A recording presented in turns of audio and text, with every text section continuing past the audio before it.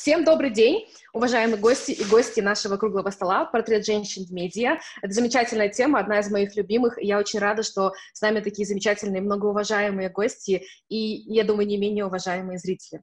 А, кто меня не знает, меня зовут Бигей Маджикеева, я являюсь координатором по развитию новых медиа и цифровой журналистики в Институте по освещению войны и мира или IWPR.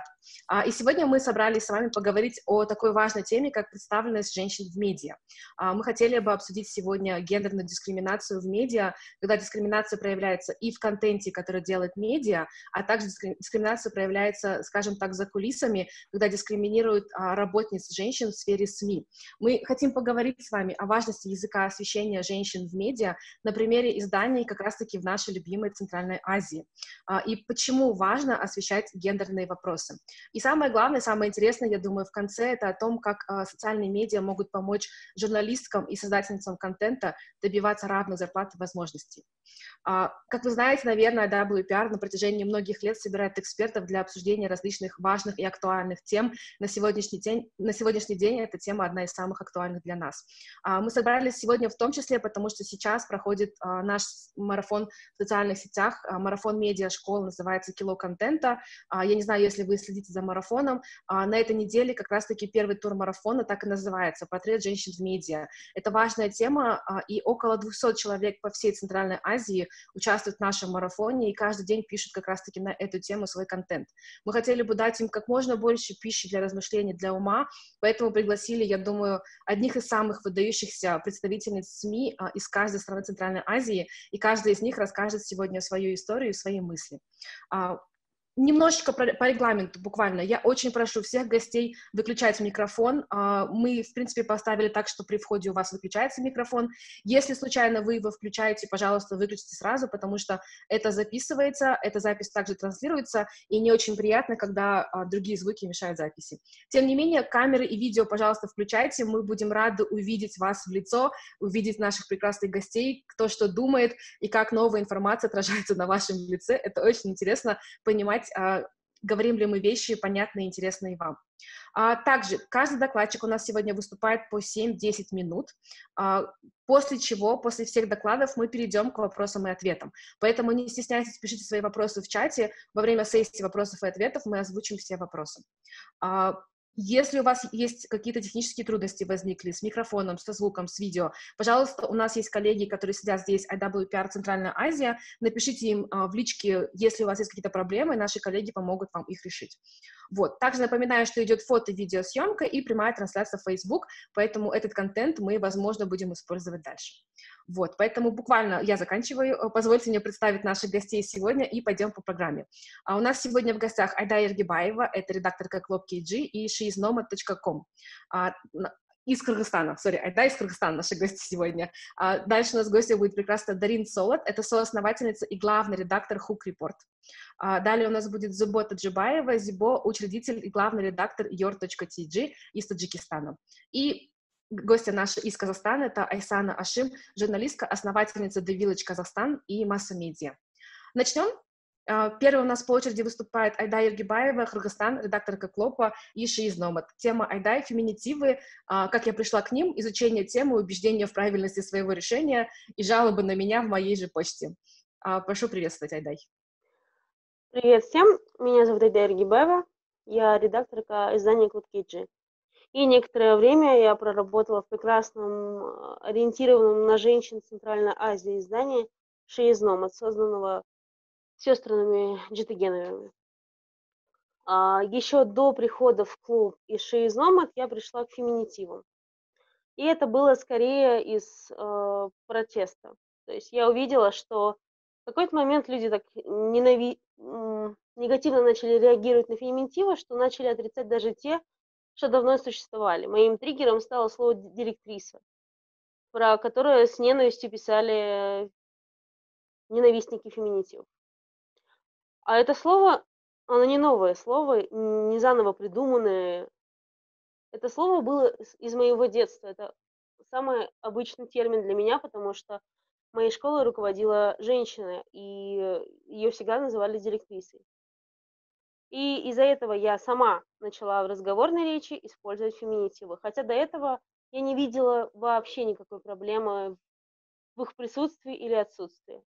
Чем дальше я э, использовала их, использовала их в том числе в работе, тем больше я убеждалась, что в принципе все это было не зря. Э, так. Э, в Клопе есть политика, согласно которой каждый редактор или редакторка самостоятельно выбирает, будет ли он использовать феминитивы. И я была из тех э, сотрудников, которые решили, что феминитивы им нужны. Сейчас я вижу, что и а, мальчики, журналисты, редакторы тоже предпочитают использовать феминитивы. То есть для них это пришло в обиход довольно спокойно. Вызывает это очень неоднозначную реакцию, очень зачастую негативную. Пишутся письма на почту моим руководителям, иногда пишутся мне письма с фразой не редакторка, а редактор, но это значит, что они дочитали мою статью и увидели, что у меня подписано Айда Эргибаева, редакторка. Это хорошо, они прочитали этот материал. А, кроме того, мы несколько раз выпускали ликбезы, почему мы используем феминитивы, почему это нормально, почему это не новые придуманные, не коверкание русского языка и так далее. Я чуть позже отвечу на этот вопрос, почему это не коверкание русского языка. А, а в ши... Ну, в клопе мы используем эти слова дозированно. Я не пишу президент К или премьер-министр СА, но я пишу депутат К. Это слово существует, между прочим, с 19 века и еще использовалось э, в русских документах депутатка такого-то уезда. И читатели постепенно привыкают, начинают э, уже менее негативно реагировать. И я поняла, что феминитивы нужно использовать дозированно. Но абсолютно феминитиво-позитивным сайтом был Шейзномат. Так как он был ориентирован на женщин, и главное, э, героини издания тоже были все женщины, я использовала феминитивы ко всем, если только героиня не говорила, что, допустим, я не экономистка, я экономист, пишите так. Я с уважением отношусь к такому решению и всегда принимаю их точку зрения и пишу так, как они хотят себя позиционировать. А, там тоже были споры из-за феминитивов. А, мы даже провели ликбез по феминитивам, о том, как они были изначально в старорусском языке, в церковном языке, как они а, вводились новые слова, феминитивы при советской власти, чтобы женщин привлечь к интересной работе, чтобы они стали авиаторшами, авиаторшами трактористками, солдатками и так далее. И как потом искусственно, а, когда все женщины пришли к профессии, их нач... Э, эти феминитивы начали выпиливать из русского языка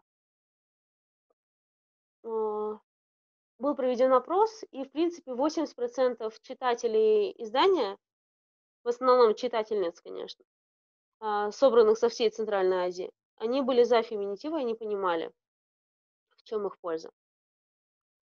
Но, тем не менее, а, только чуть позже я поняла, насколько действительно важны на примерах. А, читая отзывы и комментарии тех или иных людей, ты видишь, что все еще в 21 веке, когда женщины стали основой экономики, когда они поднимают экономику страны, становятся мигрантками, кормят свои семьи, все равно есть э, сексисты, которые пишут комментарии, ой, да, да расскажите мне, нету на свете типа женщин, физиков, э, режиссеров, химиков, ученых, математиков. И тут перечисление самых разных профессий, женщин нет, поэтому и такие окончания не нужны. Ну, это же абсолютный бред. Человек не знает а, тему. Сначала ты начинаешь ему объяснять, а потом ты понимаешь, что, в принципе, если бы а, терминология с женскими окончаниями использовалась чаще, возможно, такой проблемы бы не было. Однажды я а, опрашивала более 30 женщин самых разных профессий, врачи, спасательницы МЧС, снайперка, ученый, физик. И, в принципе, они мне рассказали, с какими стереотипами сталкивались э, при обучении. И среди этих стереотипов были врач это мужчина, медсестра это женщина. Вот типа даже само название говорит за себя. И вот такую терминологию часто используют сексисты. И отказ от феминитивов их только подбадривает в этом. Вы не обязаны использовать феминитивы, если вы не хотите. Это ни в коем случае не обязательное правило. Но вы не можете диктовать другим людям, чтобы они их не использовали. И аргументы, что Пушкин бы перевернулся, это не аргументы, потому что Пушкин смешал церковнославянский язык, в котором были феминитивы, и русский народный язык, в котором были феминитивы, и сделал современный русский язык, в котором тоже всегда были феминитивы. А, когда мне говорят, что депутатка режет ухо или докторка, и что это никогда не примется, я вспоминаю пример а, слова студентка. Дело в том, что а, хотя при Екатерине II был Смольный институт, допустили к обучению в школ, к школам и гимназиям девочек только при Александре II. Это 1850-е годы. И тогда начали появляться слова гимназистка, тогда же появилось слово директриса и инспектриса, потому что нужны были женщины-специалистки, женские учреждения. После женщин допустили и к обучению в институты и университеты, потому что до этого женщин обучали на дому. И появились женщины-студентки. И тогда же писались письма в газеты о том, что студентка – это ужасное слово, которое портит русский язык, что она никогда не приживется, но вот мы в 21 веке, и студентка – слово для нас совершенно обыденное, которое мы не воспринимаем как феминитив. Тема Ой, дай прошу прощения, у тебя одна минутка осталась. Да. Тема феминитивов довольно часто дискредитируется, а, противники феминитива говорят, чем добавлять окончание к словам «займитесь какими более важными делами», как будто окончание э, к словам занимает у меня так много времени и не дает заниматься мне важными делами. Это абсолютно... Это для кого-то не важно, но вы можете использовать или не использовать, но это все равно дает свое влияние. Сейчас никто не, не думает, что студентка – это не норма. Но может думать, что женщина-депутат – это несерьезно потому что депутат – это мужское слово. И мы можем внести свою лепту, узаканивая женщин в этих профессиях, тем более, что женщины там всегда были, по крайней мере, э, пока мы сами живем в этом мире.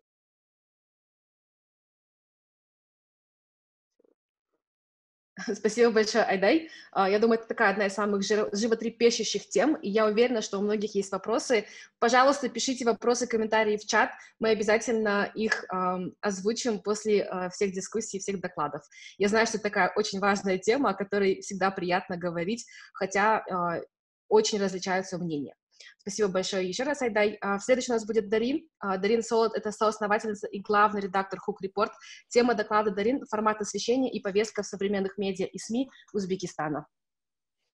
Всем привет-привет, очень рада всех видеть. Постараюсь говорить внятно и надеюсь, меня все слышат. Если меня слышат, пожалуйста, кивните, потому что меня чуть-чуть а, подгоняет наушники. Итак, а, начнем с портрета женщины в медиа. Я буду говорить не только о женщинах в СМИ, потому что СМИ у нас, к сожалению, в отличие от Кыргызстана и Казахстана, не так сильно скажем так, покрывают все, плюс есть разница в двуязычии, и поэтому мы поговорим чуть шире. Портрет женщин в медиапространстве Узбекистана у нас всегда слишком ортодоксальный. Несмотря на попытки что-то менять в социальной активности, это всегда в первую очередь мать и жена. И эта позиция транслируется нам со всех сторон, то есть телевидение, эта позиция транслируется с развлекательного контента. Эту позицию транслируют чиновники, на, которых, а, на интервью которых опираются те или иные СМИ. Развлекательные программы, фильмы, сериалы активно пропагандируют только семейные ценности, указывая, где на самом деле место женщины. Без этих всех ваших «мое тело, мое дело». Это их не касается. К этому а, общему строению присоедин... а, периодически присоединяются СМИ в той или иной мере, прибегающие то к хейт-спичу, то к буллингу, а также малый бизнес а, в SMM и digital. Итак, а, начнем с того, а, что о женщинах говорит реклама. И реклама в Узбекистане либо паразитирует на тему секса, либо, опять же, обращается к женщинам как к образу матери и жены. А, ну, посмотрим. Начнем мы, наверное, с темы секса. нужно понимать, что у нас нет сексуального воспитания. Я, честно говоря, не изучала этот вопрос в Казахстане и Кыргызстане, но в Узбекистане тема секса табу. И поэтому, если кто-то пытается что-то там делать, это всегда выглядит чуть-чуть нелепо и чуть-чуть странно. Ну, например, сейчас я попробую продемонстрировать вам а, недавнюю тему, а, очень интересную, с которой начали а, работать как раз-таки, блин, как, как сделать демонстрацию экрана, ребята? А, вот, мы, мы видим депиляцию на главном экране. Так вот, а, светодиодная электронная депиляция решила пойти по нестандартному пути и работать с темой секса, эгэгэй. Но, естественно, а, работа с темой... А, я не против секса, скажем так. Я, я считаю, что каждый может заниматься этим как, как, как хочет и когда хочет, но если мы пытаемся продвигать товар через тему секса, это всегда сексизм, это всегда шейминг, это всегда буллинг, женщина всегда... Ну, посмотрим, а, либо жирная тварь, либо очень невзрачно выглядит, либо это какой-нибудь кактус, либо это что-то, ну, совсем-совсем страшное, и то есть салон первый начал делать вот это, но а, его целевая аудитория – женщины, то есть те, кто хочет привести там свое тело в той или иной мере в порядок. И я, не знаю, как все остальные, я бы не пошла в этот салон просто потому, что здесь меня всячески унижают, оскорбляют. Мой любимый пример, он очень далеко, я до него, к сожалению, не домотаю, это где салон предлагает нам быть горячей цыпочкой, а, и в итоге просто показывает какую-то жуткую курицу или жирную свинью или жирную корову. Ну, то есть что-то такое максимально неприятное, максимально а, некрасивое. Вот. А, или было у нас такие примеры, это, к сожалению, баннерная реклама, я не могу ее сейчас найти, потому что интернет ее не сохранил. Это когда кофейня рекламировала свое кофе через объективацию женщин, то есть а, нам делили несколько категорий женщин, мулаток, чернокожих, белокожих, и сравнивали их с тем или иным видом кофе. Было очень весело, но чуть-чуть грустно. И мы понимаем, что здесь, конечно, главная задача маркетологов а, – это привлечь внимание, то есть к товару тем или иным способом. Но а, до секса мы еще не дошли, и женщины его не очень а, любят. А, ну и это не такая массовая реклама. То есть Facebook, социальные сети — это немножко такая а, тема для тех, кто этим пользуется. Другое дело — стандартный образ хорошей жены. Вот эта реклама у нас очень массовая, эта реклама у нас везде. А, например, если мы посмотрим рекламу главного монополиста всей страны, компания Акфа и Артель, которая производит бытовую технику для всех семей, то мы увидим, что главная героиня — это обязательно женщина в платке, которая делает все своими руками. Но тут ей на помощь приходит свекровь и рассказывает, что можно упростить себе жизнь и использовать технику. Или наоборот, свекровь — это главный монстр, которому нужно угодить и делать так, чтобы она осталась довольна. Такой образ очень часто используется в рекламе медикаментов, продукты питания. Но сейчас я покажу а, на примере вот здесь. То есть вот а, смешная реклама компании Артель. То есть вот здесь следующий по роликах у нас идет, а, ну давайте уберем звук, сделаем вот так. То есть она готовит, она помогает всей семье, она всегда там, на, на ура. И ей, естественно, в этом помогает а, печь артель. Или реклама, вот Чокок Крем, тоже убираем звук. А, то есть он встает в 6 утра, она бедная, она работает, ей прям все надо успеть, и крем ей предлагает тоже упростить свою жизнь. Или, опять же, та же самая Акфа. Здесь вот у нас свекровь монстр, которая тоже, тоже это объективация, тоже это буллинг. Свекровь это обязательно чудовище, это не нормальная женщина, вся ее жизнь точно только для того, чтобы терроризировать несчастную невестку.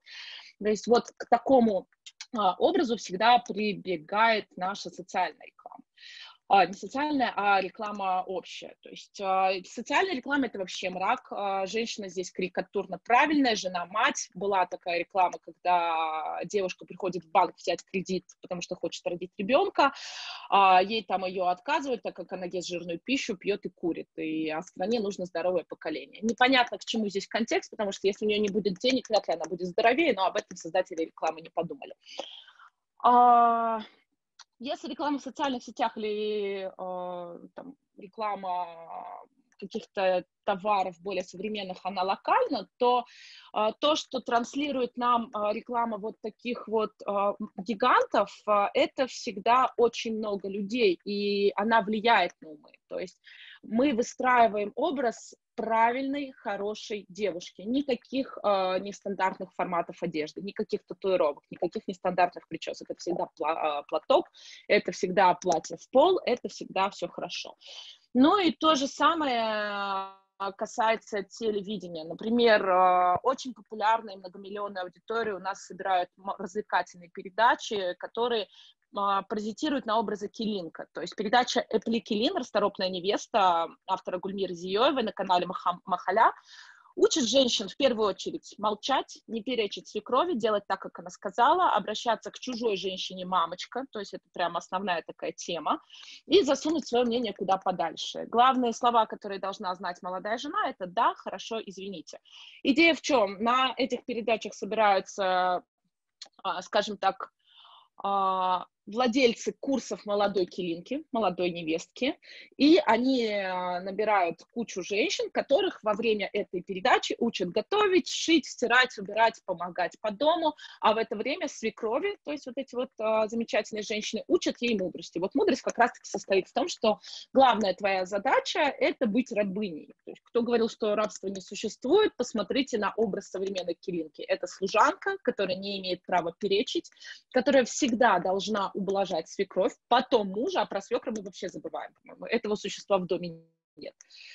Вот, если может показаться, что это единственный пример, то, конечно, нет. А, телепрограммы насквозь прописаны шовинизмом, женоненавистничеством в самых серьезных масштабах. И если есть сомнения, то, например, программа «Килгинды Килин», приезжая невестка. Это такое реалити-шоу, когда девушки из села приезжают в Ташкент и учатся быть невесткой. То есть вот российская телепередача э, шовинистического характера, где она должна найти мужа, у нас немного адаптированная, она не просто должна найти мужа, она должна научиться быть невесткой. Аудитория бешеная просто, там а, несколько миллионов людей одновременно смотрят эту передачу.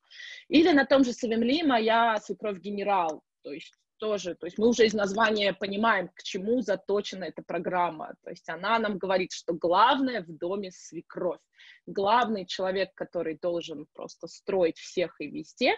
Это передача по типу, когда повара приезжают, ну, зап западный образ э, адаптирован под Восток, когда повара приезжают там, к тому же Рамси э, на адскую кухню, готовят, и Рамси там все разносит. Здесь то же самое, только вместо Рамси у нас свекровь, которая просто не оставляет э, пустого места ни на ком. А, но и у той же а, передачи, у всех трех передач, а на самом деле их гораздо больше, я просто только три нашла вот в упоминании, их гораздо больше. Все они пропагандируют один образ. Женщина должна уметь готовить, не перечить, убираться, стирать. И вся ее жизнь, от точно того, что с 6 утра до 12 ночи, она только и делает, что ублажает всю свою семью. Ни о каком образовании, ни о какой работе, ни о чем таком мы говорить не можем. И нужно понимать, что телевидение нас смотрит 80%. Дарин, одна минута, последняя. 80%. Ладно, ну, а, ладно, тогда мы перейдем сразу к СМИ. А, в СМИ такая проблема. Есть узбекоязычные, есть русскоязычные СМИ. Узбекоязычные СМИ, они совершенно ужасно работают с точки зрения этики. Ну, например, издание Кун на узбекском языке. А, новость. Женщина избили девушку из-за ревности. В тексте, а, сейчас мы откроем, господи, все пошло не так. В тексте а, у нас они говорят а, о том, что, вот оно, Женщина была легкомысленная, поэтому эти две женщины, наказав ее за легкомысленность, избили ее. Ну, то есть текст нам технично говорит, что те женщины, которые ее избили, были правы. Или интересный кейс на русском языке. А, девушка, сотрудница АИМК, высказалась против многоженства и привела в пример пророка Мухаммеда. Начался массовый буллинг, и вот вам заголовок. К чему могут привести неосторожные высказывания, оскорбляющие пророка Мухаммада? То есть э, мы здесь говорим о том, что не буллинг плохо, а о том, что она сама виновата. И это такая очень важная тема. Или «Правда Востока» в сложной теме про проституцию говорит, что женское достоинство стоит 150 тысяч суммов. Это заголовок. Ну, то есть вот мы э, очень радостно с этим работаем.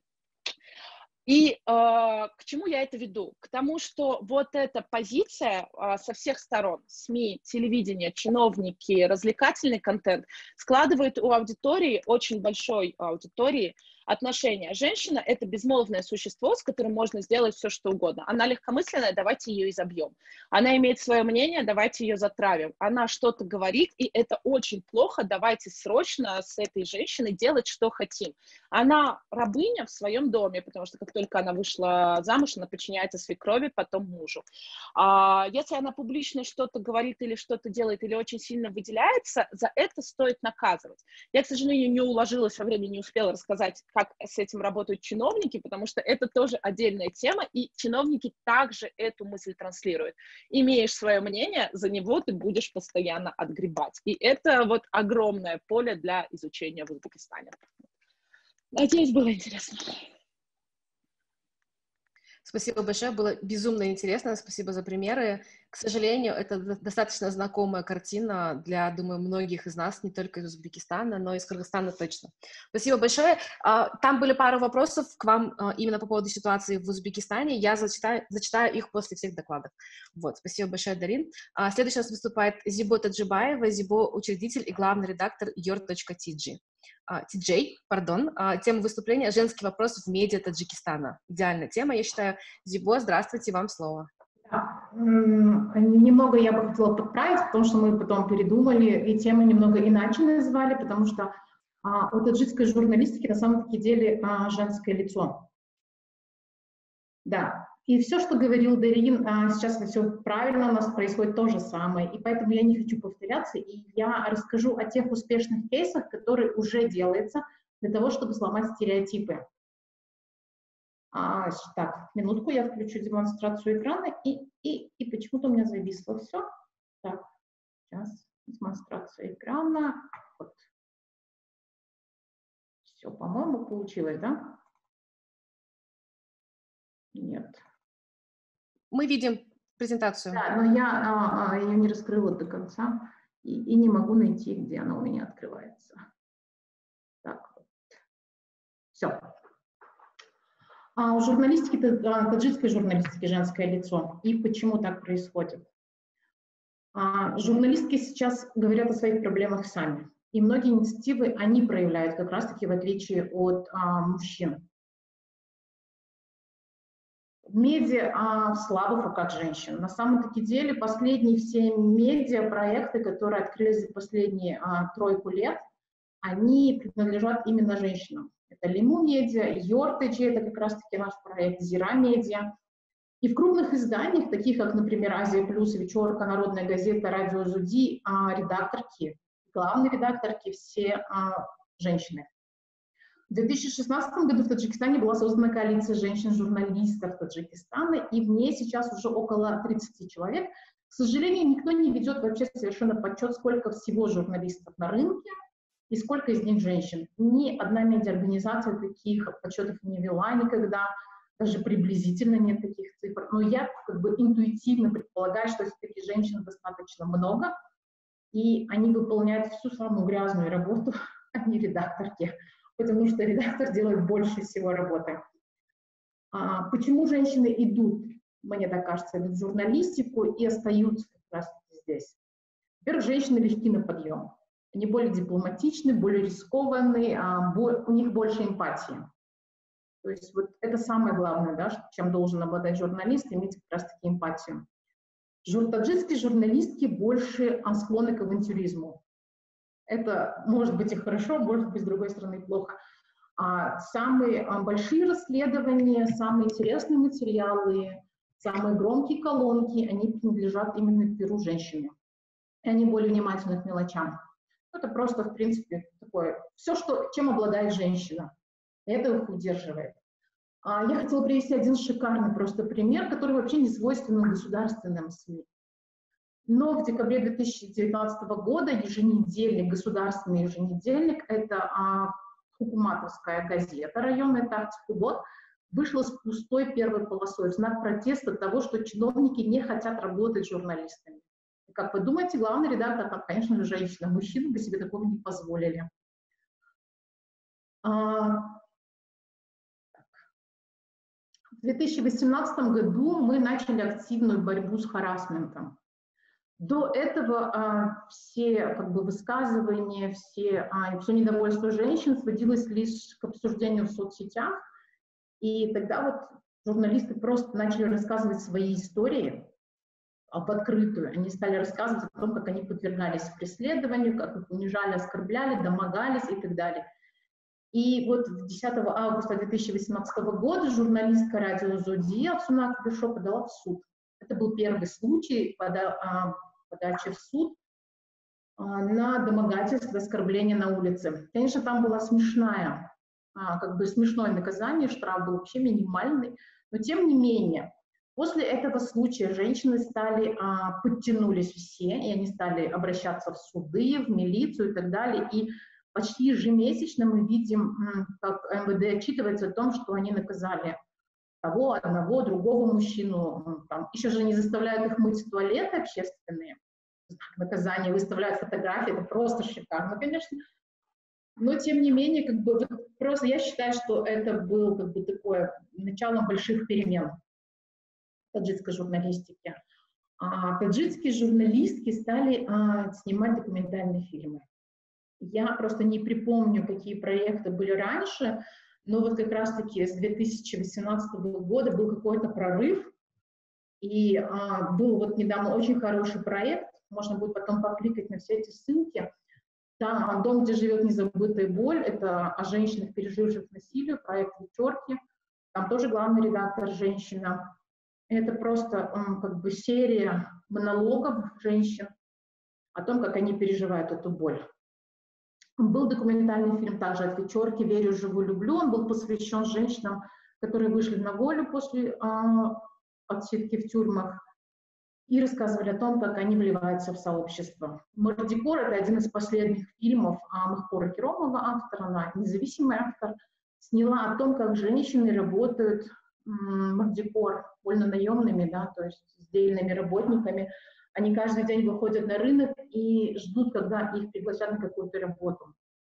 И вот, так, вот этот фильм, кстати, там не было ни разу упоминания о том, что чиновники плохие или что-то, но он изменил просто жизнь, во-первых, этих четырех женщин, а, героинь этого фильма, потому что люди откликнулись а, на их а, проблемы, на их беду, они стали всем помогать. И плюс еще на рынке который как бы несанкционированный рынок, а мордикоров как раз-таки, там сделали наконец-то простой навес, чтобы люди, а, чтобы женщины не стояли в самую жару на солнцепеке. Ну, что-то хоть сдвинулось с этим фильмом. Сделали а, очень много социальных инициатив, как раз-таки это принадлежат именно женщинам. Помогите сделать наш город добрее. Это инициатива а, по поддержке бездомных животных. К сожалению, у нас это просто боль, потому что в Таджикистане не любят, к сожалению, животных.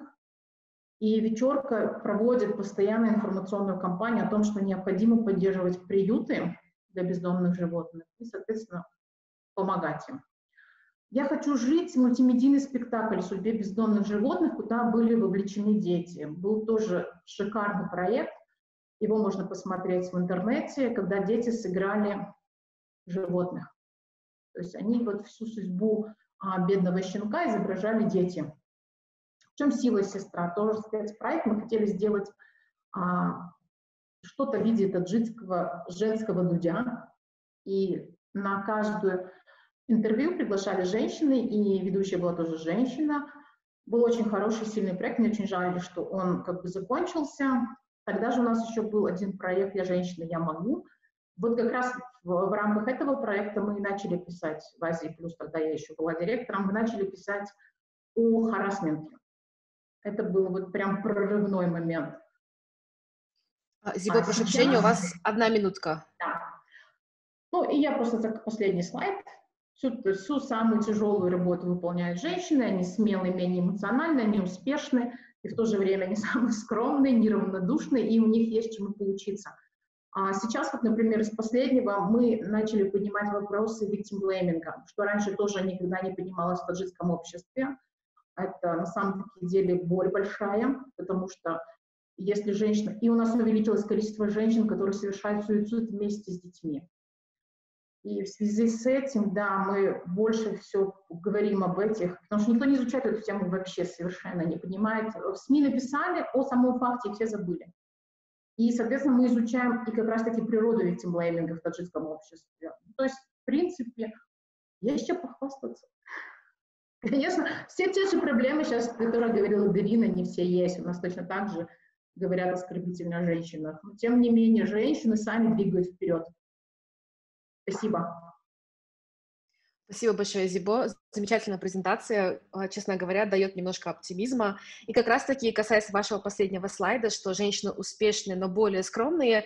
Именно поэтому мы сегодня пригласили Айсану Ашим, чтобы Айсана немножко раскрыла, возможно, глаза других женщин э, в медиа.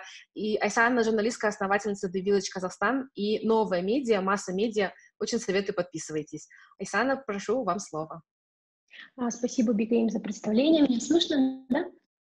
А, спасибо всем участницам за классные презентации, много чего нового узнала, хотя постоянно слежу за Таджикистаном, Кыргызстаном, там консультировала тоже ваших ребят.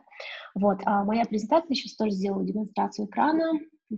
А вот, в общем, тема, как социальные сети могут помочь нам, журналисткам и медийщицам с продвижением и заработком. Здесь я выделила вообще, зачем это нужно, потому что у некоторых бывают вопросы, а, и раньше я тоже, на самом деле, делала упор на свою работу и думала, что зачем мне вообще там в соцсетях что-то рассказывать, вот есть там моя статья, и те, кто захотят, почитают. Но оказывается, это не всегда верно, и нужно рассказывать о себе, а, показывать и делать это в разных каналах. А, первая причина, потому что люди любят людей, э, люди доверяют людям, люди покупают у людей, и мы даже можем это посмотреть по нашему, даже по нашему мышлению, скажем, а, тот же Тесла у нас сразу э, ассоциируется с Илоном Маском и прочее, прочее, да, ну, или любые там компании, которые вам сейчас на ум приходят, скорее всего, есть какой-то человек, который, с которым эта компания у вас ассоциируется. Вот, а, поэтому нужно следить за трендами, а, но в то же время быть настоящим и быть мультиканальным, уважать свою аудиторию и не стесняться. Это тоже будет отдельная тема, возможно. А, почему Почему еще нужно вести соцсети? Потому что так у работодателей, партнеров будет больше шанса вас заметить, и если, скажем, вы приходите на собеседование, и потом после собеседования все, конечно же, смотрят соцсети, и они заходят, и сразу какой-то, а, либо появляется такая благосклонность, можно сказать, либо наоборот, например, там какой-то, не знаю, какой-то контент шерили, который не совсем там подходит ценности этой компании, да? Или вообще вас нет в соцсетях, уже это как бы тоже может вызывать какие-то вопросы и сомнения, да? А, почему еще? Потому что легче быстрее заводить знакомство, скажем, даже если вы пишете какому-то, не знаю, знаменитому человеку, а у вас такой понятный профиль, что вы журналист, кто вы, что вы, и это уже больше тоже вызывает как-то а, симпатии и, может быть, тоже расположение. Да? А дальше а, легче бороться с клеветой информационным нападением. Если, скажем, что-то случится, вот то, то, что спикер говорила о харасменте, и тоже, мне кажется, в этих ситуациях это может как-то пригодиться, то, что у вас есть какой-то социальный капитал, да. А, диверсификация проектов, источников заработка, то, что если есть э, прокачанные соцсети, можно также выступать, э, не знаю, писать какие-то статьи, вас будут звать какие-то проекты и прочее, прочее. Ну и репутация вне зависимости от репутации работодателя. Это тоже бывает важно, так как э, если вы не контролируете все процессы компании, мало ли что может произойти там с вашим инвестором, что-то может случиться, и тогда этот имидж, если будет какой-то плохой имидж, может повлиять на вас. Поэтому желательно, конечно, настраивать свой также имидж отдельно. А, и теперь как же вообще это сделать? А, это на самом деле такая большая тема, и я попыталась это как-то более а, вкратце донести. А, первое – это сформулировать свое позиционирование, свою миссию. А, скажем, вы, например, а, именно расследователь и какой-нибудь, который расследует именно финансовые там, штуки, там, связанные там, с олигархами нашими, да, политиками и так далее. И тогда будет странно, ну, именно если вы так себя позиционируете, но вам заходишь в профиль, в Facebook или там в Telegram, а вы там пишете, не знаю, про своих детей, про котиков, это, ну, не соответствует, да, вашему позиционированию и вашей миссии. Дальше э, оформить шапку профиля, описание аккаунта в соответствии с этим позиционированием. И здесь еще надо учитывать, что, э, скажем, если это Инстаграм, то Инстаграм — это а, все-таки визуальная соцсеть, и здесь тоже оформление нужно смотреть, чтобы было какой-то баланс или гармония да, по цветам и так далее. А, понять, кто целевая аудитория. Если, скажем, ваша аудитория — это там, мужчины там, 35-45 лет, будет странно, если вы будете писать, там, не знаю, какой-то хипстерские, да, какие-то обзоры, киноновинки, все такие люди не смотрят, да, без сексизма, в общем, если они не смотрят такие фильмы. А, понять, кто целевая аудитория, а, определить цели, с которыми вы ведете соцсети, и здесь интересно, что могут быть у разных соцсетей могут быть разные цели. Например, у нас в Казахстане есть э, девушка, она э, в ТикТоке там у нее один контент, а в Инстаграме у нее другой, более экспертный, а в ТикТоке такой более развлекательный, да. И тоже в соответствии с вашими целями это могут быть какие-то разные темы, форматы. А, дальше. Прописать основные темы. В принципе, вы сами тут все можете прочитать. А, какие штуки э, хочу я прокомментировать. Определить свои уникальные стороны, определить блоки самопрезентации. Здесь интересно то, что не обязательно всегда постить только профессиональный контент, и людям, опять же, интересны люди, и можно потихонечку, там, дозированно добавлять какие-то личные штуки, чтобы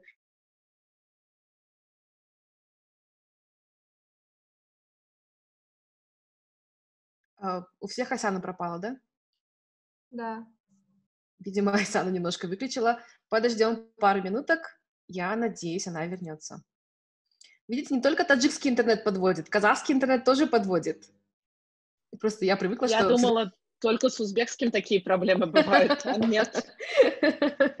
Приятно осознавать, что и в Казахстане есть проблемы с интернетом.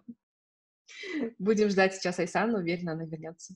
То, что говорила Дарина, это просто такая боль, потому что у меня была лекция по сексизму в рекламе в прошлом году. И я вот Айсан такие же ролики показывала, как Да, да. А, у меня и... интернет, я просто вышла на кухню сейчас. А, все, все, возвращаемся назад. Ага. Да, да, да. Sorry, дай. А, так, к этому. А дальше создать аккаунты в нужных вам соцсетях. Тут как раз вам покажу. Вот, а, регулярно публиковать контент, но тоже надо понять свою регулярность. Не обязательно это делать каждый день или каждый час, да. А, понять интонацию, стиль, формат публикации. В принципе, все то же самое, что когда мы запускаем, ну, сделаем свой СМИ. Например, в Космо, там, у них интонация, что они обращаются на «ты», да, читательницы, а Forbes они там, не знаю, на «вы», да, и не позволяют себе таких высказываний. А, определить ценности, соответствовать им. Например, вы себя позиционируете как человек, который там поддерживает, там, скажем, ЛГБТ, да, какие-то комьюнитис, и будет странно, если на следующий день вы выдаете какой-то гомофобный контент. И наоборот, есть люди, которые любят гомофобов и следуют им, да. И тоже такие люди популярны бывают. А, дальше продвигать аккаунт, то есть а, делать это и офлайн, и онлайн, какой-то взаимный пиар, это могут быть мероприятия, конкурсы и прочее.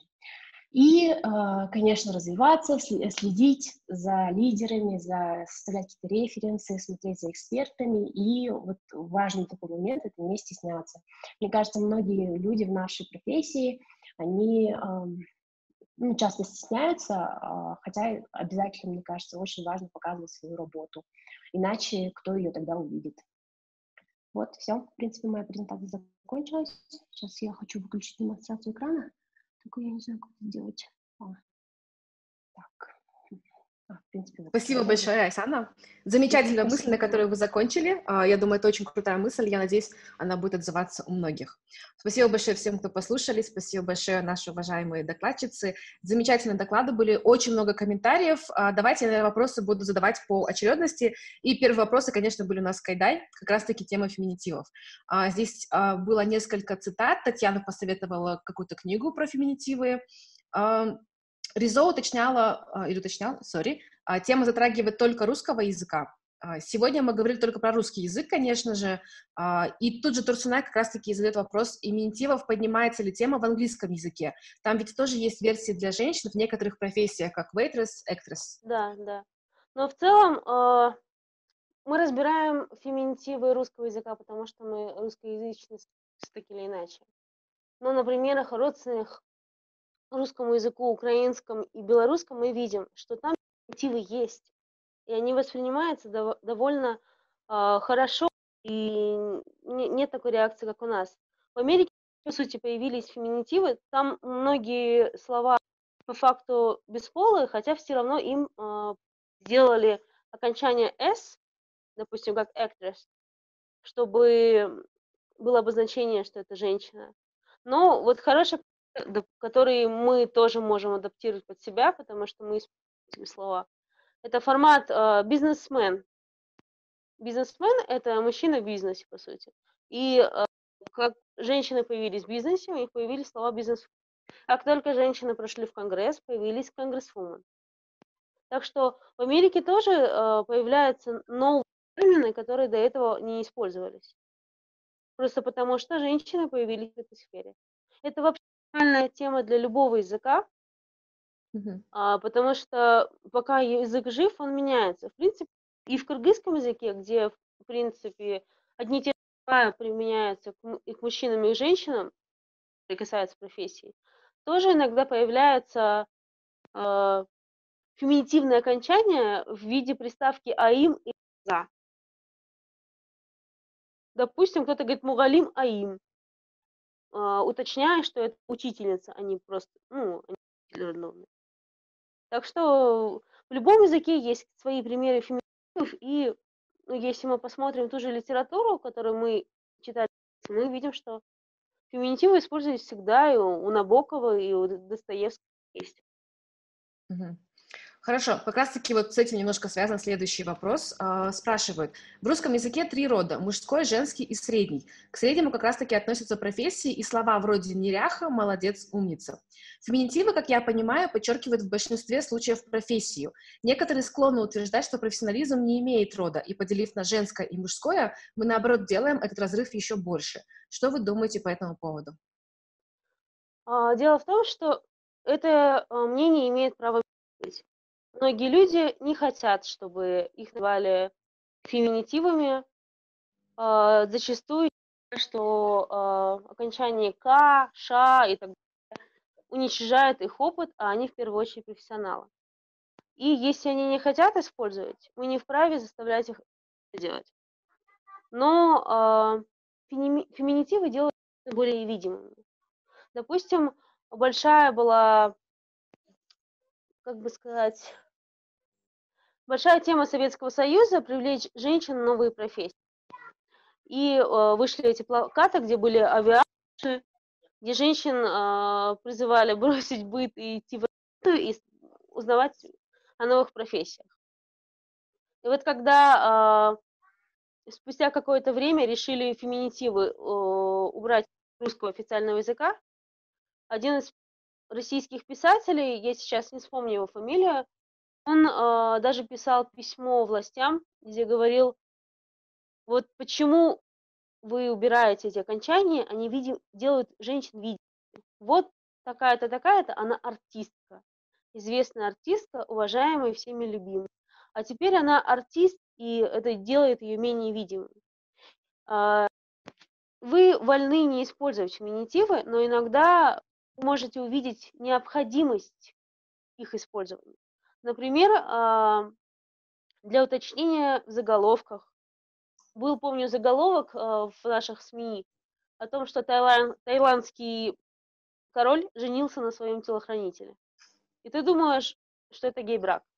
Открываешь новость, а это э, таиландский король женился на главе своей охраны, это женщина.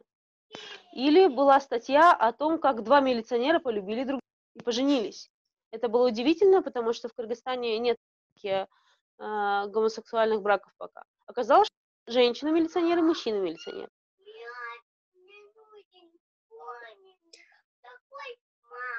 Спасибо большое, Айдай. Сейчас, пожалуйста, я Все, моя дочка уходит. Моя дочка тоже использует феминитивы. Недавно... Возьми. Недавно моя дочка спросила, почему э, Моана может быть вождем. Я ответила, что Моана может быть вождем, если она считает это нужным. И женщины могут всего добиться. И она сказала, но разве она не вождиня? У детей нет стереотипов и феминитивов о том, что они уничтожают или о том, что они не нужны. Они просто делают их тогда, когда считают это нужным. Это естественно. Спасибо большое за ответ. А, Спасибо, Айдай. Привет большой дочери.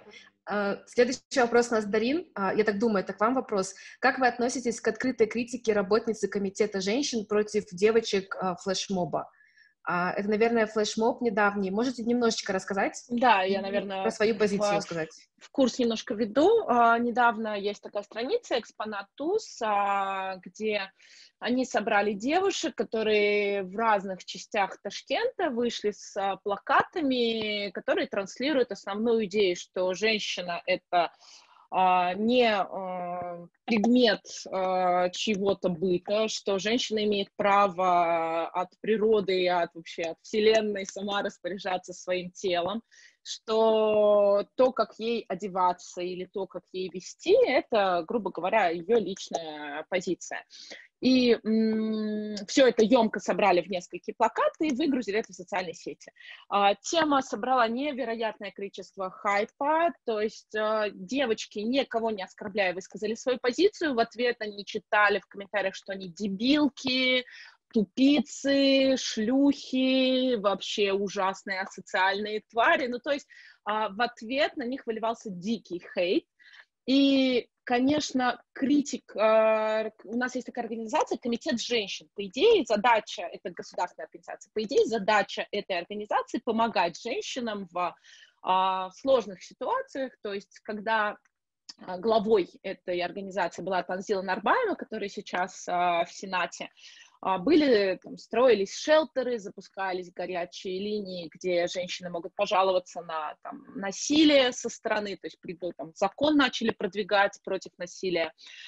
Когда Танзила Нарбаева ушла в Сенат, а, главой стала Эльмира Баситханова. Я очень хотела про нее сказать, но не успела, потому что вот эта тетенька, она отвечает за вот этот ужасный шейм по отношению к женщинам. То есть каждое ее высказывание — это на самом деле огромный фейспалм, потому что то она несчастных продавщиц, а надо понимать, что большая часть продавщиц у нас, в, ну, как на всей Центральной Азии, наверное, это женщины, то есть дехкан, предприниматели, предпринимательницы, да.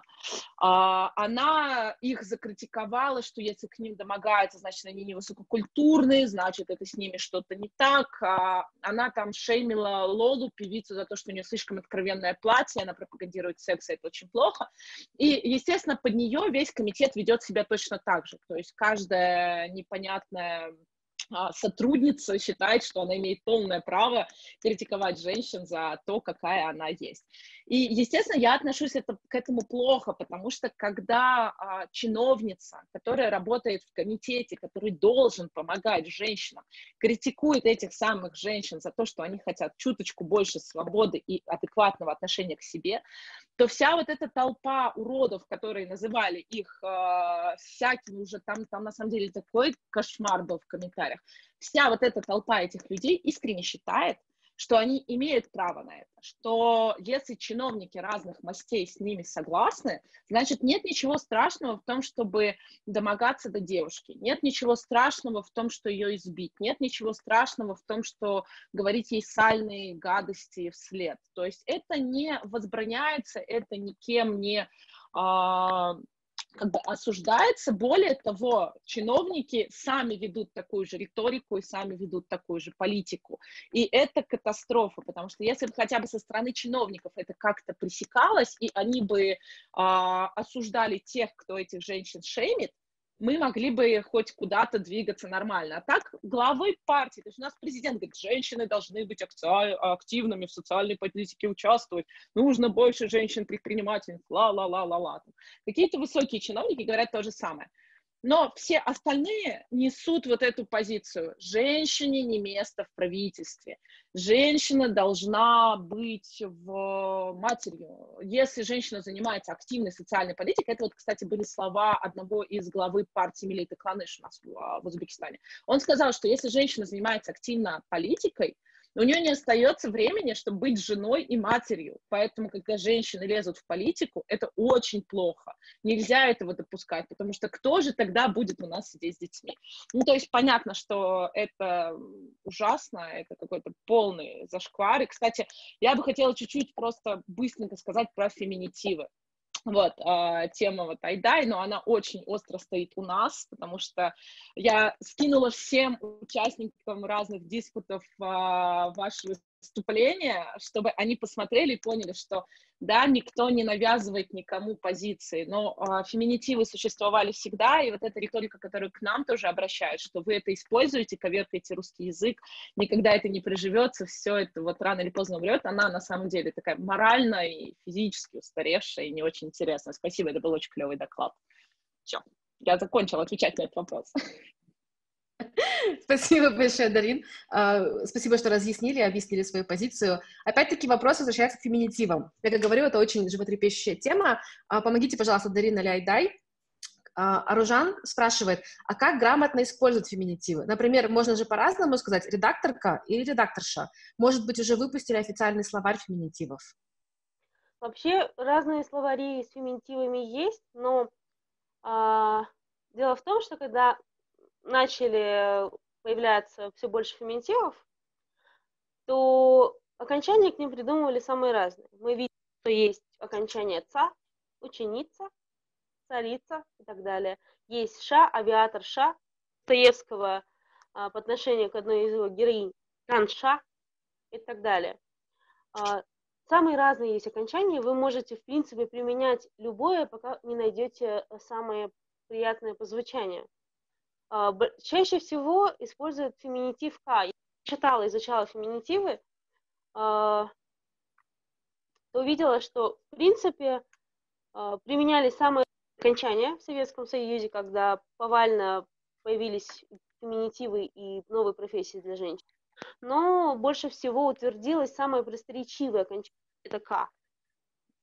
Хотя, допустим, в ученой среде преподавать личных э, наук предпочитали другое окончание – иня, то есть как княгиня, только экологиня, биологиня и так далее.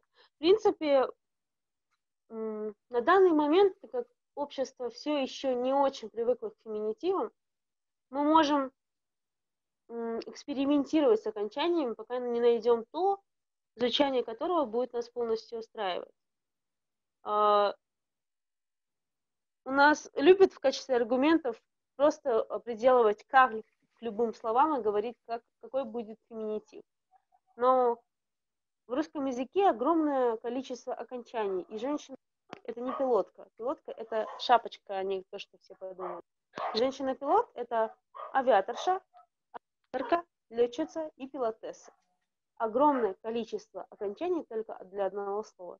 И, в принципе, мы можем использовать любые окончания и смотреть за аудиторией, какие больше приживаются. Потому что мы будем помнить многие феминитивы, которые говорили о женщинах в новых сферах, сначала не понимались, и общество убеждало, что они никогда не будут приняты. Но мы используем феминитивы каждый день, на самом деле. Просто мы их не называем таковыми. Спасибо большое за ответ. А, как раз-таки сегодня я читала новость, что в Атырау в Казахстане назвали аэропорт, аэропорт в честь летчицы. Вот, и мне кажется, это замечательно дает видимость как раз-таки летчицам, особенно в наших странах. А вопрос Мы еще один. Я так... угу. Мы потомки Sorry. царицы Тамирис. Тамирис была царицей. Мы должны понимать о том, что женщины могут занимать самые разные должности и быть великими в этом деле. Так что и использовать феминитивы, если хотим. Супер, спасибо большое, да, я полностью с тобой согласна. У нас следующий вопрос, я так думаю, тоже к Дарине вопрос. А, Дарин, а ваше отношение к последней новости о девочке, которая избила нескольких парней? На самом деле это интересная тема, сейчас тоже краткий бэкграунд. А, в Намангане случилась такая потрясающая история. А, а, в Узбекистане вообще, в принципе, наверное, как и во всей Центральной Азии, нормой считается свистеть, кыс-кыс-кыскать, чмокать вслед симпатичным девушкам. То есть ты идешь, а тебе в ответ такой джаном кызылок, там, не знаю, асалем гузалем, и все вот в этом духе. То есть это прям наше все. И тут а, в Намангане какая-то такая компания решила почмокать вслед девушке.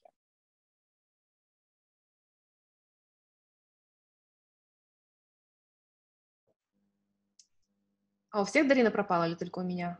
Да, у всех. У всех, ага. Узбекский интернет вошел в чатик. Хорошо. А, я надеюсь, Дарина подключится обратно.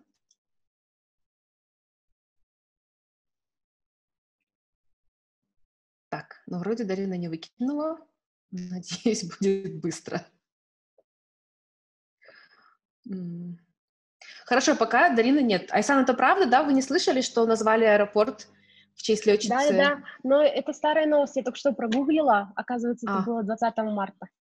Угу. А, просто сегодня почему-то подняли эту тему. а классно. я сама даже не слышала, странно. Ну, интересно так. Вот. Так, я появилась? Да, вы вернулись. Слышно? Все, ура. Так, ну, в общем, а, она их избила. Сразу началась, вот это, это я тоже не успела рассказать, началась массовая волна. Баба избила мужика, да куда вы все смотрите? И опять же, я считаю, что да, против нее нужно было начать расследование, потому что избивать людей все-таки не ок. Но мне интересна риторика, которой э, пользовались все остальные СМИ, чиновники и прочее, прочее. Когда мужчина, вот на фоне этого было очень много историй, когда мужчина, вот буквально сейчас есть такая тема в Самарканде, мужчина избивал свою жену регулярно, он заставлял есть ее содержимое подгузников своего ребенка. Это просто настолько ужасная тема издевательства над человеком, и против него не возбудили уголовного дела. А популярный певец изнасиловал несовершеннолетнюю девушку. Прокуратура начала следствие, не нашла состава преступления. То есть ничего не двинулось. Девушка избила двух парней, уголовное дело, она ужасная просто коза, как она смела, о ужас. Да, нехорошо избивать людей, но, извините, а, может быть, хоть таким образом некоторые мужчины начнут понимать, что кто-то из нас может дать серьезный отпор, что кыс-кыс-кыс — это ненормальный формат общения, если ты хочешь познакомиться с девушкой, что если ты бежишь мимо и щипаешь девушку за ягодицы, она не будет с тобой знакомиться. То есть я очень часто сталкиваюсь с тем, что я утром выбегаю или вечером на пробежку, я бегу с большой 30-килограммовой собакой рядом, мне все равно умудряется что-то в ответ кричать, что-то пытаться где-то как-то выразить свою симпатию. Я не знаю, чего ждут эти люди. Я не очень понимаю, как они планируют дальнейшее развитие событий, но они должны понимать, что это не этично, что есть определенные границы. И если кто-то эти границы выстраивает э, методом силы, а, видимо, в нашей стране другой метод не понимает, потому что метод э, юстиции и закона, он не работает. Очень много случаев, когда начинали уголовное дело, семья того, против кого ее начинали, давила на жертву, жертва забирала заявление, и это заканчивалось ничем. То есть даже в этом году таких случаев, ну, с пятерочку можно найти. Что если вы не понимаете метод нормального обучения и разговора, иногда встречаются такие, как девушка в Намангане, и она, если что, может очень сильно навалять. И да, если мы ее оправдываем, мы как бы призываем людей к самосуду. Но, с другой стороны, почему тогда, когда такие случаи происходят с мужчинами, не освещается на должном уровне? Почему массовая пропаганда, вот эта патриархальная идея не начинает шеймить этих мужчин? Почему никто не устраивает им э, выговоры, почему их не увольняют с работы, почему никто не считает, что если ты избил женщину, это тоже караул, это тоже катастрофа, что этого делать нельзя. А тут, наверное, сыграло то, что, а, девушка дала отпор. Боже, мы же, мы же считаем, что девушка, она молчит и слушается всех в семье, а тут она еще и драться умеет, да. А, что девушка не побоялась, и у нее сработала первая реакция. И как бы даже, я встречала комментарии такого рода, женщины говорят, блин, она молодец, это очень круто, мужчины говорят, как вы можете ее оправдывать? Вы поддерживаете самосуд, это против а, традиционно, не, не против а, нормального развитого светского государства, как будто у нас такое светское государство в Узбекистане, что просто. И честно, я хожу на самооборону, и я ею восхищаюсь, этой девушкой, потому что это пример того, что ты должна сама себя защищать. А если бы они не кыс-кыс-кыснули? А если бы их было трое, и они бы хотели ее избить, смогла бы она выстоять? Непонятно. Но даже если бы они до нее домогались и попытались бы изнасиловать, она бы ее избила, сто процентов, я уверена, кричали бы, что она спровоцировала конфликт, и ее теперь нужно судить. Так устроено общество в Центральной Азии. Мужики всегда правы. Ну вот, это мой краткий ответ. Спасибо большое, Дарин. А, к сожалению, картина опять-таки слишком знакомая для, я думаю, многих здесь. А, спасибо. Переходим к следующему вопросу. Я думаю, этот вопрос был направлен к Зибо, потому что Зибо как раз-таки об этом немножко говорила. А, Зибо, если вы здесь с нами, включите камеру, пожалуйста, что-то мы вас не да, видим. Я, я, я здесь, я просто, а, у меня немножко, да, интернет слабее, я выключаю. Таджикский интернет мой любимый. А, такой вопрос, ваше мнение нужно. В народах есть понятие, что в журналистику берут женщин из-за приятной внешности и голоса, чтобы... Я, да, я не расслышала до конца вопрос. Ой, простите. Еще раз, секунду.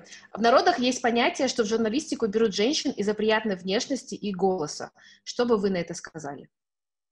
Ну, в принципе, если берут таких, то они здесь долго не задерживаются в журналистике. Я просто, да, у нас были примеры, когда а, говорили о том, что м, один из главных редакторов берет себе таких а, девушек, именно выбирает самых красивых, самых стройненьких, молоденьких, а, но никто из них не остался долго в журналистике, то есть выдерживают как раз-таки не по внешности уже. Остались такие матеры, которые могут дать отпор Потому что все-таки журналистика — это другая братья, мне кажется. Здесь как с чиновниками не получится. А если, например, или мне так просто кажется, потому что женщины в журналистике могут дать отпор любому, в отличие от чино, от работы в госорганах, где ты зависишь полностью. Здесь как-то ты более независимый, что ли. Хорошо, ну, спасибо. Так. Спасибо. Здесь вас очень благодарят за вашу презентацию. Э, жена пишет, что видела фильм «Мордикор». Отличный формат освещения да, это был, проблемы. на самом деле классный фильм. А, мы, наверное, если что, найдем, э, скинем потом ссылки еще в наших постах, чтобы все ознакомились со всеми фильмами, на которые вы как раз-таки давали ссылки. А, также жена уточняет, а, как освещается роль женщины в масс-медиа в других странах ЦА. Я думаю, это огромная тема, и у нас сейчас нет особо времени к ней перейти, но мы постараемся еще пару таких ивентов устроить, а, чтобы, ну, не знаю, чтобы вернуться к этой теме. Вот, а, поэтому спасибо большое, Зибо, здесь очень много вас благодаря за презентацию, спасибо, что вы дали, как раз-таки дали, мне кажется, лицо журналистики, особенно в Таджикистане, это очень важно, спасибо большое. Так, у нас потом еще вопросы, следующий вопрос у нас, я так думаю, Кайсане, а, Айсана, сейчас очень популярно стало блогерство и в частности, в частности вайнерство. Стали увеличиваться случаи, когда женщина ведет контент немного непристойного характера, и такие аккаунты начали хорошо продвигаться. Каково отношение, ваш, ваше отношение к таким случаям? Мое отношение, что если женщина хочет вести контент, э, она может делать э, как захочет. Если она хочет выкладывать свое тело, это ее выбор. Если это не непристойный контент, то контент, который она считает нужным и интересным. А, но я считаю, что как бы, если вы себя... Это все зависит от позиционирования. Если вы себя позиционируете как такую девушку, тогда такой контент уместен. А, но, наверное, для журналиста это будет немножко странно, потому что это не совсем про работу. Вот. Но, в принципе, люди могут сочетать, если у кого-то это удастся, почему бы и нет, да. А, я сама, не, ну, скорее всего, не подписана на такой контент, потому что я больше вот ну, читаю журналистика, у журналистов и каких-то таких, такие темы феминизм мне интересен, а бизнес. А, да. Еще там был, да, один вопрос насчет... Да, как раз вопрос от Дарин, спасибо, от спикерки к спикерке. Mm-hmm. Вопрос к вам. Насколько тема финансов важна в продвижении аккаунта, я так думаю? Насколько mm-hmm. можно быть успешным mm-hmm. в продвижении без вложений? Um, так, это еще зависит от соцсети. Э, потому что у каждой соцсети свои нюансы. Вообще считается, чем раньше ты зашел в соцсеть, тем э, меньше цена входа. Поэтому сейчас советуют заходить на ТикТок, потому что потом уже будет сложнее раскручиваться. И поэтому советуют заводить как можно скорее, если у вас нет Инстаграма там, или Фейсбук, то тем более. А, я думаю, что финансовое продвижение, именно финансы, они не настолько важны, если вы делаете крутой контент, и если вы еще а, уникальны, да, или более так, а, не настолько более уникальны, да, в своей нише. То есть если вы делаете такой же контент, как еще там, за миллион людей в вашей стране или ваш, на вашем рынке, то вам будет сложнее продвигаться и, может быть, какие-то финансы потребуются. Но в целом финансы не на первом месте. На первом месте это ваше позиционирование, это ваш контент, это регулярность публикаций, это ценности, которые вы доносите и поиск своей аудитории. И это уже ну, большая часть работы. Особенно, мне кажется, в Центральной Азии у нас э, не такая большая конкуренция, и даже, ну, мне кажется, даже больше там, например, в Таджикистане, в Узбекистане, нежели чем в Кыргызстане и в Казахстане. Так что это не настолько важно. Спасибо вот. большое, а, так, у нас еще были комментарии здесь как раз-таки, что первый президент Казахстана регулярно рассказывал сексистские анекдоты на 8 марта. Да. Спасибо за этот комментарий, Татьяна. А, также вопрос был о госорганах, но я думаю, в принципе, Дарин уже ответил на этот вопрос. Um, так, ситуация с депутатом была. У нас um, следующий вопрос. Uh, так как, да, этот, этот круглый стол проводится в рамках нашего марафона, где участники каждый день пишут на тему «Портрет женщин в медиа», для многих это немного сложный вопрос, поэтому я бы хотела уточнить, uh, может быть, наши как раз-таки спикерки, экспертки, особенно вот Айсана или Зибо, кто чуть меньше говорил, чем uh, Айда или Дарин. Это неплохо, не хорошо. Я в целом, что больше было вопросов просто к Дарин и к Айдай пока. Uh, посоветовался Айсан, что дальше? Какие рекомендации могли бы вы дать, а, что делать, чтобы портрет женщин в медиа стал лучше? Пару простых шагов для аудитории. А мне кажется, первое, это не нужно думать, что ваша аудитория — это недостаточная аудитория, потому что у нас часто такое бывает, когда происходит что-то, не обязательно связано с женщиной, но вообще в целом все начинают призывать, о, блогеры, напишите, come on, даже если у вас аудитория 500 человек, это уже аудитория, даже если 80, даже если 5, поэтому нужно не стесняться и писать, и рано или поздно вы найдете свою аудиторию, и если вы будете любить свое дело, делать это постоянно, регулярно, аудитория будет увеличиваться. А, это первое. А второе, что, что делать, а, мне кажется, больше говорить, ну, то есть э, знать, что это кому-то нужно, это кому-то важно, находить единомышленников, вместе с ними делать проекты, не обязательно даже контентные, это может быть офлайн, может быть акции, пикеты, митинги, да, это потом все освещать а, в соцсетях, в СМИ. Нетворкинг очень важен, то есть постоянно общаться с людьми, находить, как что устроено, и верить в себя, мне кажется, женщины рулят миром, да, вот, а, и вообще, мне кажется, скоро, да, скоро патриархат умрет, ну ладно, это уже была ставочка, да-да-да. У нас вообще вот редакция, большинство же девушки, и вообще в целом в Казахстане, мне кажется, медиа-менеджеры сейчас в основном девушки, женщины, и да. Спасибо большое. Спасибо, Айсана, я с вами согласна. Вот, а Зибот тоже добавьте, пожалуйста, пару слов. У вас были такие замечательные примеры проектов. Я думаю, все пошли гуглить ваши проекты пока, но пока все не ушли гуглить, подскажите еще пару советов тоже, как вы думаете, как нам, что делать, чтобы портрет женщин в медиа стал лучше? Я бы предложила бы а, больше обращаться к активистам. В Таджикистане, например, очень активны в последнее время именно гражданские активистки. И если бы журналисты чаще бы писали о них, рассказывали бы их истории, успешные примеры, а, транслировали бы их обращения, которые они запускают, к сожалению, только в соцсетях, и поэтому к ним очень мало внимания, то было бы просто супер. Потому что ну, не хватает голоса вообще женщин в медиа таджикских. А в русскоязычной прессе его чуть больше, а в таджикоязычном его поменьше, конечно. И всячески поддерживать. Единственное, я сейчас сразу вспомнила, у нас же в Таджикистане феминистки пытались провести пикеты, точнее как, они просто собрались, просто обсудить проблемы и а, создали массу проблем. Они не смотрели сначала на live-трансляцию в Facebook, потом в конечном итоге их просто разогнали. Но был прям страшный троллинг, а, и мужчины прям очень были реально настроены. А, все из-за того, что просто нет понимания, что такое феминизм. Потому что когда я стала работать а, с новой темой сейчас, я хочу поработать с фемицидами, а, этого понятия вообще, в принципе, в Таджикистане нет, и никто не говорит о нем. Я думаю, что вот просто просвещать еще больше нужно. Ну, так вот. Спасибо Я надеюсь, меня было слышно с таджикским интернетом. Вас было прекрасно слышно, прекрасно видно. А, спасибо вам большое за ваши слова, за ваши примеры. А, я думаю, это всем очень было интересно. Вот. Так, а, ну вроде бы больше вопросов у нас нет. Все мы задали, все спросили. Мы даже закончили вроде бы вовремя, правильно?